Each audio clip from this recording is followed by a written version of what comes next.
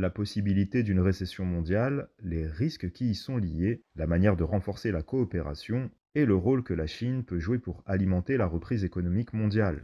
Le discours du vice-premier ministre Liu He au Forum économique mondial de Davos était une indication de la volonté de la Chine de s'engager sur des questions clés. La réalité nationale chinoise dicte que l'ouverture au monde est une nécessité, pas une opportunité. Nous devons ouvrir plus largement et faire en sorte que cela fonctionne mieux.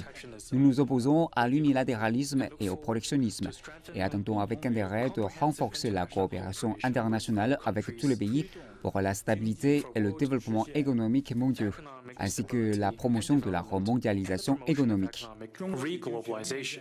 Liu He est à Davos pour rencontrer des dirigeants mondiaux et des PDG d'entreprises technologiques, de services et industriels. Le message qu'il porte est le suivant. La Chine est ouverte pour faire des affaires et désireuse de se connecter. Par ailleurs, il faut rappeler que la Chine contribue à quelques 36% de la croissance mondiale. Le moyen de renforcer la coopération dans un monde fragmenté est un problème auquel nous sommes tous confrontés. Nous devons creuser les causes de cette fragmentation, promouvoir les jeux à somme positive, identifier les domaines de convergence possibles et explorer les mécanismes pour y parvenir. Nous devons travailler ensemble pour sauvegarder fermement la paix mondiale. Nous devrions être reconnaissants que le forum de Davos de cette année nous offre l'occasion de faire précisément cela.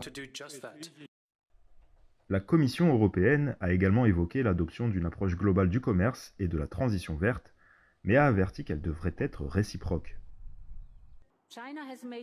La Chine a fait de la stimulation de l'innovation et de la fabrication des technologies propres une priorité de son plan quinquennal. Elle domine la production mondiale dans des secteurs comme les véhicules électriques ou les panneaux solaires, qui sont essentiels pour la transition. Mais la concurrence sur la neutralité carbone doit être basée sur des règles du jeu équitables. C'est la raison pour laquelle Liu He a réitéré que la mentalité de guerre froide devrait être abandonnée en faveur d'une coexistence pacifique. La prochaine étape pour le vice-premier ministre sera Zurich, pour un tête-à-tête avec la secrétaire américaine au Trésor, Janet Yellen.